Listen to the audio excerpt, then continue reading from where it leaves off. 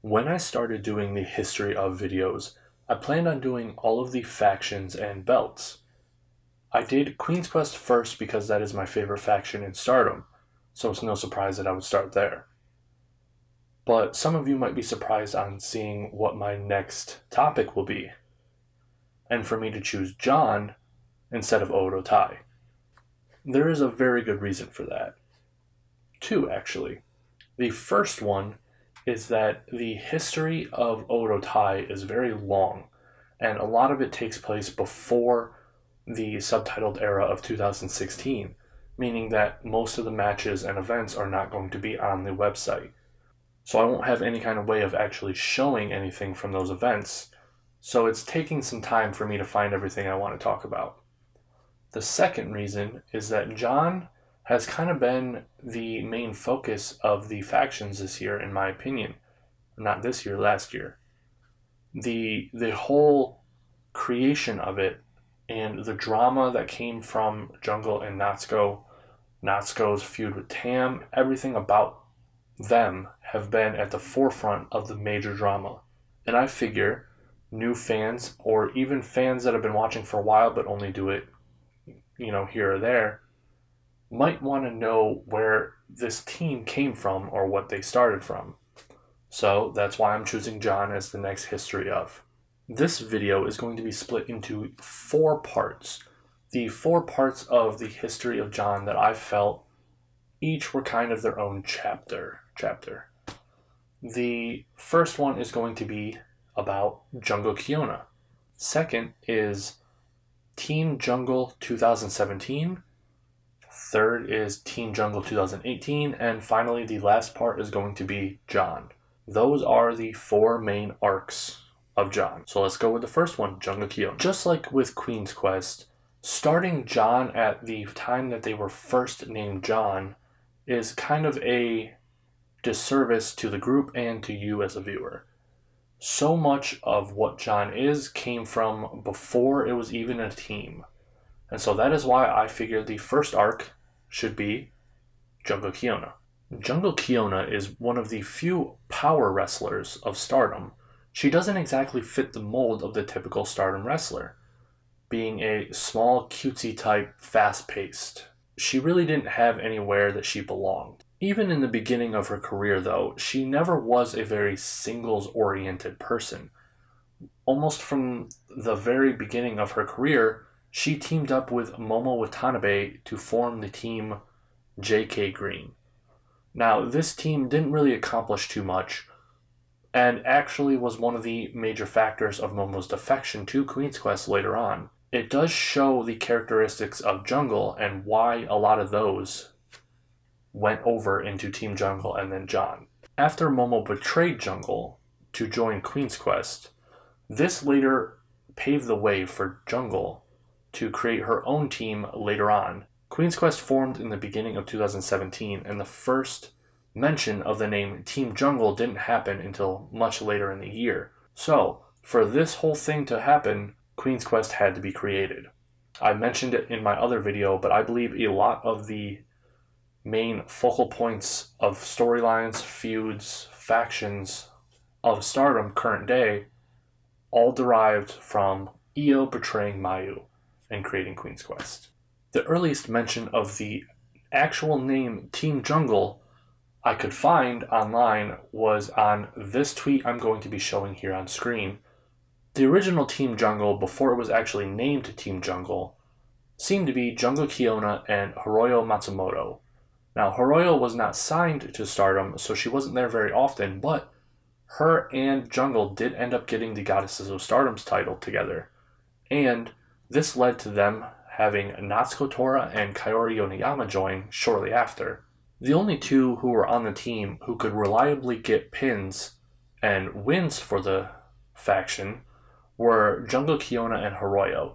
So, unfortunately, in the beginning, Team Jungle did lose quite often. But this also showcased a feature or characteristic of most of the members of Team Jungle in that they are very energetic and optimistic about their abilities and or opportunities. Even though they would lose all of the time, they never gave up. And because, like Hiroyo, Kaori was not signed to stardom as well, that left Jungle Kyona and Natsuko Tora to be together most of the time during early years. This means that they form some kind of a master disciple relationship. Even though Jungle Kyona is about the exact same age as Natsuko, Jungle did start earlier and progressed as a wrestler a lot faster and better than Natsuko Tora. Natsuko kind of had a rough start in the beginning. She did not win very many matches, and this caused Team Jungle to actually lose a lot. And Jungle never gave up on her. And I believe this is one of the reasons that Natsuko and Jungle are so close even to this day, because Natsuko knows deep down that Jungle does care about her. Even though Jungle and Natsuko seemed to be the two main members of the faction, it was the combination of Jungle Kyona, Hiroyo Matsumoto, and Kaori Yoneyama that were able to end up getting the Artists of Stardom championship titles, meaning that JAN now had both multi person championship titles the Goddesses of Stardom and the Artists of Stardom. They were entering into a very competitive scene though, as Oedo Tai and Queen's Quest were very dominant at the time. On June 21, 2017, Jungle Kyona and Hiroyo Matsumoto lost the Goddesses of Stardom belts, resulting in Team Jungle only having the Artists of Stardom belts. In the early era of 2017, when Io Shirai was absent, Oedo Tai was running unopposed. Unfortunately, because Natsuko was not all there yet, ability wise, Jungle Kiona and Hazuki had to team up to try to take them out. During the August 13th show, Team Jungle would lose their Artists of Stardom championship belts, leaving them titleless for the first time since their creation. Even though they weren't teaming exclusively together, it always seemed like Team Jungle was the most close knit group of stardom. They were a bunch of weird women who did not fit with all of the rest of the roster.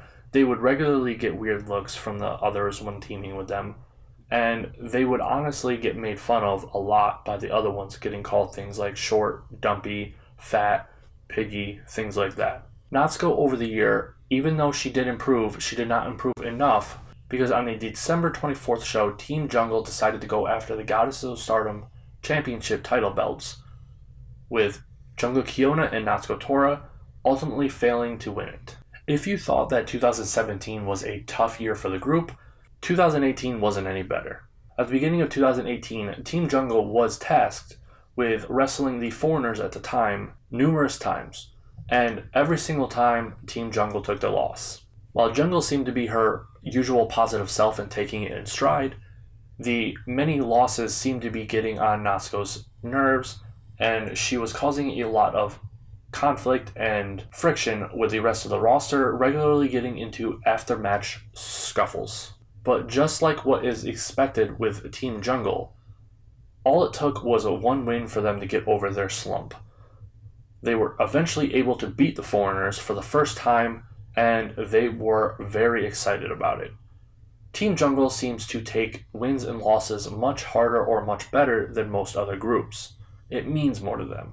Around this time, Queen's Quest and Oedo Tai were finishing up one of their feuds that had been going on for a while, which resulted in Tam being kicked out of Oedo Tai. Now, this is important to Team Jungle and JAN because at the same event at the end of the show, Mayu comes in to try to recruit Tam for a newfound faction of stardom called Stardom's Army. Now, the reason why this is important is because Mayu, without consulting Jungle, assumes that Team Jungle is a part of Stardom's army, lumping her in to Stardom's new third group. Even though there were already three, this would have been the fourth. But according to Mayu and apparently everyone else on the roster, Team Jungle was not its own entity, but a subsect of Stardom's army. Team Jungle did not like this, but they took it in stride. They did not outwardly oppose it as much as they should have, probably, but they still considered themselves their own group. Unfortunately, as time went on, Team Jungle were starting to crack. They were being delegated to a side group of Mayu's new faction, they were losing a lot, and no one was taking them seriously. Then came the Stardom Draft, where the three main factions, Oedo Tai, Queen's Quest, and Stardom's Army, were to pick people out of the roster to join their faction. Surprisingly, no one chose any members of Team Jungle, resulting in Mayu choosing everyone else, lumping JAN, at the time Team Jungle, into leftovers.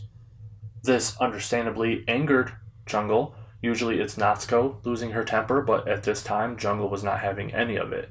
She called out Mayu and the rest of the roster for their actions and tried to say that they were their own group still and not a part of Stardom's army.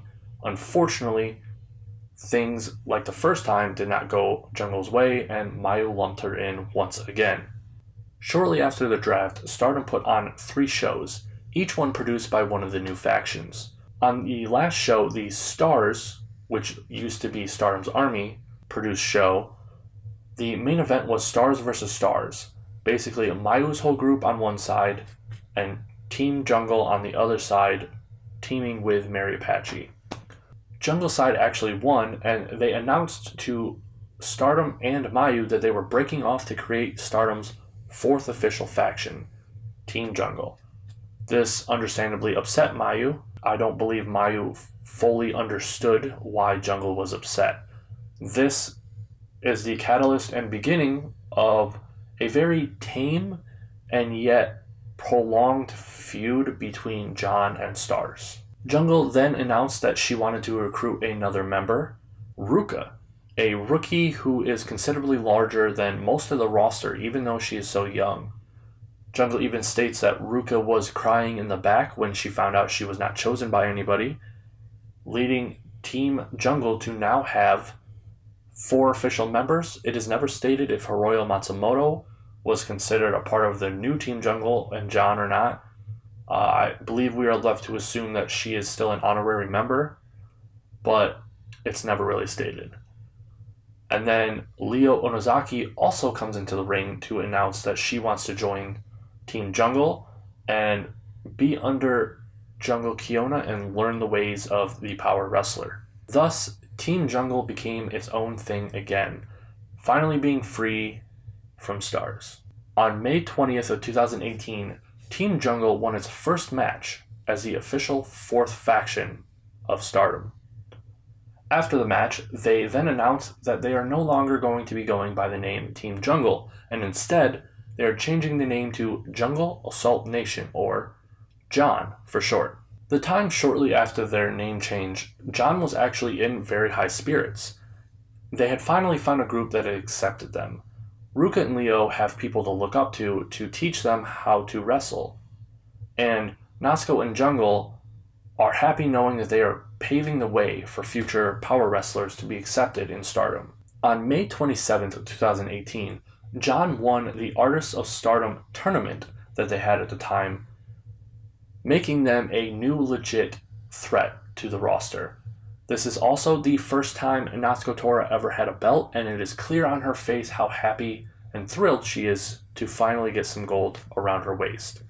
She even starts crying, which, if you know Natsuko, is pretty crazy. June 24th, after the match, shows us the start of one of the best feuds and the main reason Stars and JAN tend to clash so much. Tam Nakano versus Jungle Kyona. Natsuko and Tam showed obvious visible malice against each other in this match and afterwards, and ever since then it just got worse. Around this time, we are also privy to the information that although JAN as a team was pretty strong, their singles records were not that great.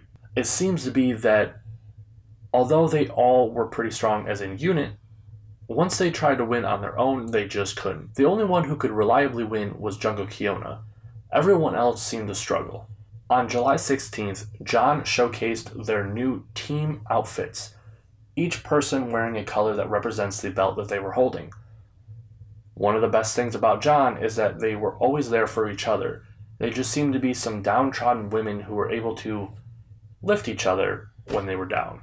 On August 5th, JAN were able to defend the Artists of Stardom Championship titles once again, making this their second defense. It was against Stars, and although the win was hard fought, Natsuko was able to pin Shiki, putting an end to their mini feud. The next big event and a catalyst in Jungle's own career was the debut of Utami Hayashishita, a new power wrestler and super rookie of the promotion. Jungle Kyona was not able to beat her in her debut match, but ended in a time limit draw. The second time they met, also a time limit draw. This match, I believe, is the catalyst on why JAN has had so much drama in the later half of 2018. Jungle was losing her spark. Natsuko felt that she was better than being Jungle's sidekick, and that led to problems later on. During the finals of the 5 Star Grand Prix of 2018, Jungle and Natsuko actually met on the last day. Unfortunately, this did not bode well for Jungle as Natsuko was able to not only win the match, but in a clean way. No flash pin, no dirty tricks. Natsuko beat Jungle. This is also the next step in the Jungle versus Natsuko feud. This feud was the perfect way to wrap up 2018. One of the most close knit groups, maybe dividing, but coming back together anyway. On September 30th of 2018, Stardom held a two show day, one in the afternoon and one at night. During the afternoon show, JAN actually lost their triple belts, but during the night show, they were able to gain the tag belts from Mayu and Saki. Unfortunately, because of the timing, Natsuko and Jungle would end up losing the belts without a single defense, as shortly after that show, the tag league started and they were a part of it, meaning that they could not get challenged for it until the end, as the winner of the tag league gets to challenge for the titles. And unfortunately, the winners were Momo Watanabe and Utami Hayashishita, resulting in them having a match on November 23rd, where Jungle Kyona was pinned by Utami Hayashishita, putting a rest or being another step in the feud between the two. And unfortunately, this also caused the spark, or the final nail in the coffin, on Natsuko's patience, resulting in Natsuko wanting to go in singles matches from now on, instead of trying to get the titles back with Jungle. Natsuko felt that neither her nor Jungle would ever grow if they kept relying on each other and only going after the tag belts. She wanted both of them to achieve happiness by themselves for now. Finally, Natsuko's attitude got the better of Jungle, and she demanded a singles match and why Natsuko was acting so annoyed with her. On December 15th, they had their match, and it was a very good one. It was a slow burn, both trying to accomplish something in this match. Jungle trying to understand what Natsuko was feeling, and Natsuko trying to show Jungle that she's no longer the sidekick, that she is good and able to stand on her own. After the match, which ended in a time limit draw, Natsuko was able to convey her feelings to the match to Jungle, and Jungle agreed to let Natsuko go on her way, but in the future she hoped that they would once again team. On December 16th, Natsuko challenged Momo Watanabe for the white belt, and unfortunately was not able to get it. After the match, though, Jungle came in to console her and it showed that they were on the way to mending their relationship. From the very beginning, JAN or Team Jungle was not just a faction, but it was a philosophy, a way of life. You try hard, you stay positive, and you never give up. It's no wonder that they were so dominant as a team and so endearing to watch. Hopefully, JAN will stay around for a long time protecting and paving the way for future power wrestlers who just don't fit the typical mold of the stardom wrestler. Whether they will be here years from now, no one knows. But as of right now, it seems that they are just as important as any other faction in stardom.